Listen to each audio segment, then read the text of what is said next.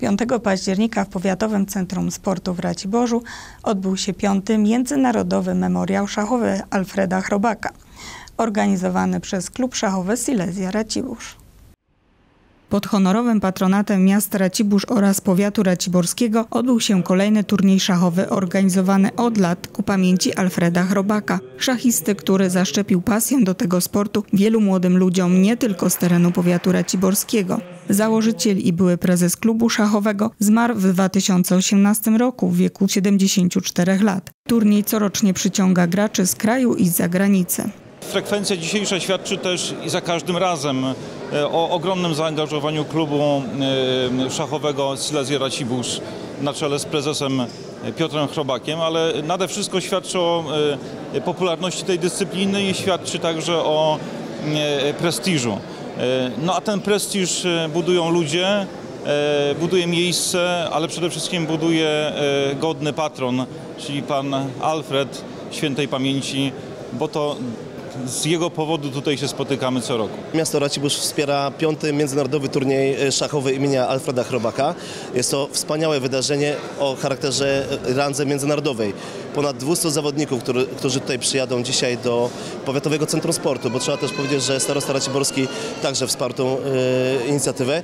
E, ponad 200 zawodników przyjedzie tutaj rywalizować na najwyższym poziomie. Ja się bardzo cieszę, że odbywa się to właśnie w Raciborzu. Turniej ma bardzo silną obstawę. Jest e, prawie 130 zawodników w grupie Open i prawie 70 w grupie juniorskiej. Oczywiście duża ilość osób też z powiatu raciborskiego, z miasta samego Raciborza, naszych klubowiczów. No i tutaj praktycznie są zawodnicy, juniorzy no z całego terenu Śląska, y, z przygranicznych terenów, Dolny Beneszów, Hawiżow, y, Opawa, z Ukrainy też są zawodnicy. Szachy to dyscyplina sportu przyciągająca również młode pokolenie. Turniej szachowy odbył się w systemie szwajcarskim w kategorii juniorów oraz w kategorii Open. Uczy koncentracji, uczy spokoju, opanowania, e, uczy abstrakcyjnego myślenia, e, szczególnie w odniesieniu do młodych ludzi.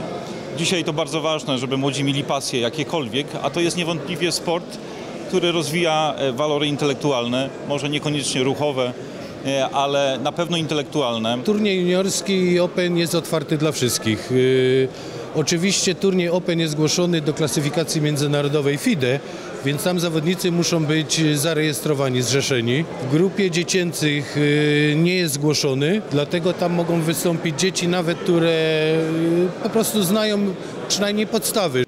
Dla laureatów szachowych zmagań organizatorzy przygotowali atrakcyjne nagrody.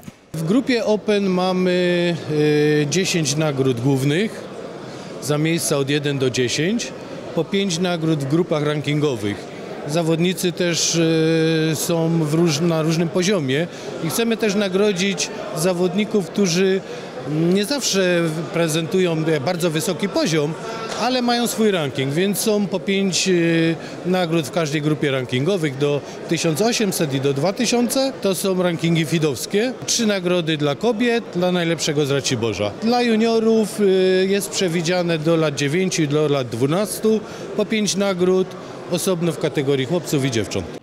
Poza nagrodami zwycięzcy szachiści otrzymali również odpowiednie tytuły za wygrane rozgrywki. Gratulujemy zwycięzcom Raciborskiego turnieju szachowego.